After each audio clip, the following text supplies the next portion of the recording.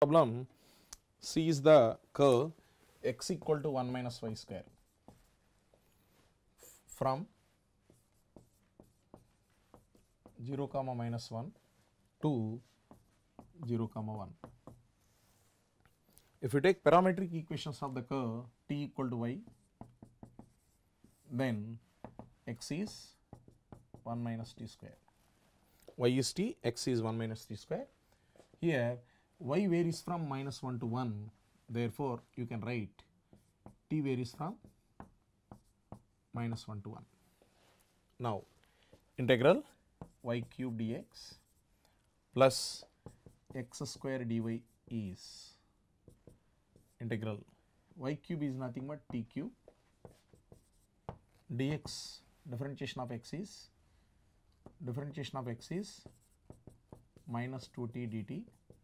So, I am writing here minus 2t dt plus x square is nothing but 1 minus t square whole square. dy is nothing but y is t so dy is dt t. Varies from minus 1 to 1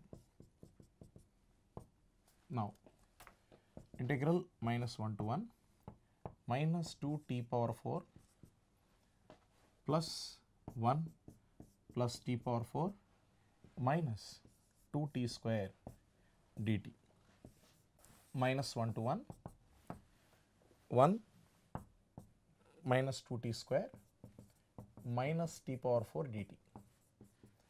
Integral 1 dt is t 2 t cube by 3 minus t power 5 by 5 from minus 1 to 1.